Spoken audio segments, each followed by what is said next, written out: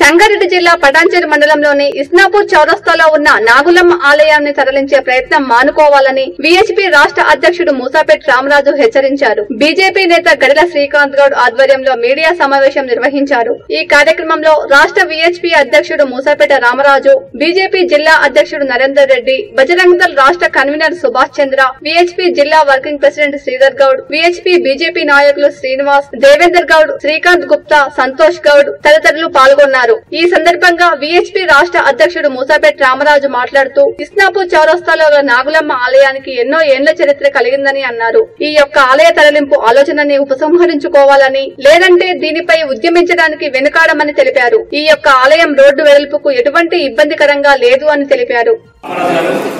విశ్వ పరిషత్ తెలంగాణ రాష్ట్ర అధ్యక్షుడు అతని మదడైన సుభాషిత భద్రత తెలంగాణ రాష్ట్ర కన్వీనర్.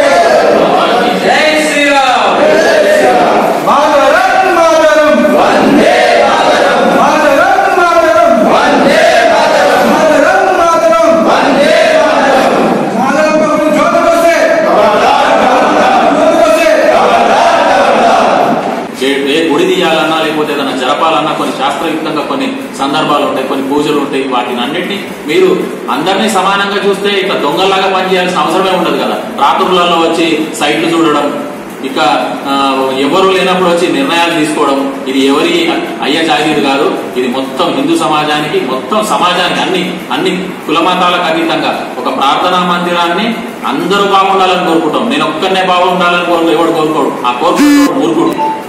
ఇప్పటికి కూడా నేను రాష్ట్ర ప్రభుత్వంలో ఉన్న పెద్దలకు ఇక్కడ అధికారం చెలాయిస్తున్నటువంటి ఎమ్మెల్యే గారికి అందరికీ నేను సూచన చేస్తా ఉన్నా.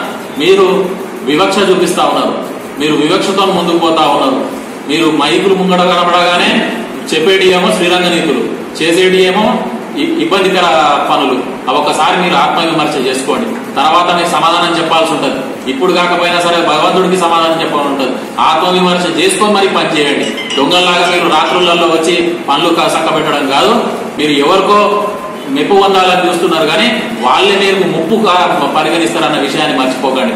అందుకనే తీవ్రంగా హెచ్చరిస్తా ఉన్నాం. మీరు నాగులమ్మ గుడికి జో జోలికి రావాలంటే పెద్దలు చెప్పినట్టుగా మీరు గత ఇరవై ముప్పై సంవత్సరాల నుంచి ఏవైతే వాగ్దానాలు చేస్తున్నాయి వాళ్ళని వాటిని పూర్తి చేయండి ముందు.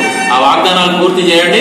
స్వచ్ఛందంగా శాస్త్రయుక్తంగా మా పెద్దవారి సమక్షంలో వేద పండితుల సమక్షంలో వాటిని ఎట్లా జరపాలో ఆ శాస్త్రయుక్తంగా వాటిని ఎవరికి ఇబ్బంది లేకుండా అందరికీ సహకరించే విధంగా మేము ముందు పోదని చెప్పి మాటిస్తా ఉన్నాం.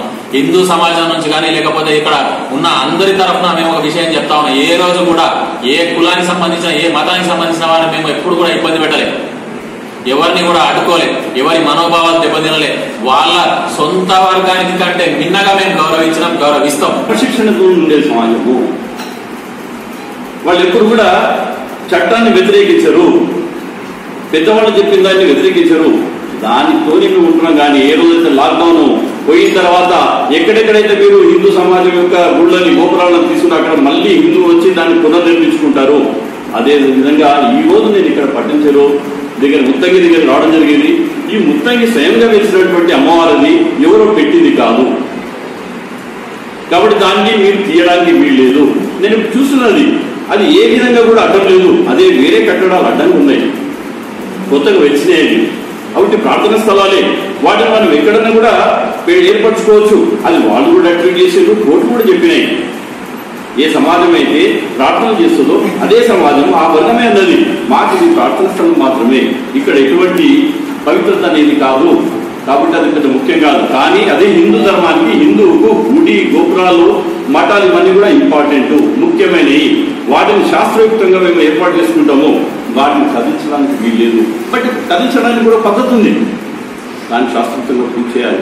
అమ్మవారిని అడగాలి. అక్కడ ఉంటాయి ఏదో కొబ్బరికాయ కొట్టేసి ఎమ్మెల్యే గారు వచ్చి తీసేద్దామంటే పూజ జరగదు దానికి అరిష్టాలు జరుగుతాయి. అది మంచి జరగదు. మీరు జ్ఞాపకం ఉంచుకోండి. కాబట్టి హిందూ దేవి దేవతలను మీరు ఆ విధంగా చేయడానికి లేదు. ప్రతిదాని శాస్త్రం ఉంది. మీరు అందరూ ఒప్పించి. కానీ మీరు ఏకపక్షంగా చేస్తున్నారు వివక్షత చేస్తున్నారు ఆ వేరే సైడ్ వాళ్ళు ఎంత వర్గం ఉందో వాళ్ళని మీరు సంతృష్టికరణ చేస్తూ వాళ్ళని జరపడానికి కానీ వాళ్ళ అడ్డం ఉందా కానీ ఈ రోజు చూసిన అక్కడ సర్వీస్ రోడ్ ఉంది. అది తరవగలేదు సర్వీస్ రోడ్ తరవగా దానికి అడ్డం వచ్చిందని జరిపి దాని తర్వాత మా దగ్గర ఎందుకంటే గుడి ఎట్టి పరిస్థితుల్లో కూడా అది అర్థం లేదు. మధ్యాహ్నం ఉంది. అమ్మవారు మధ్యాహ్నం ఉంటే అందరిని కాపాడుతుంది కాబట్టి అమ్మవారిని అక్కడనే ఉండనియండి.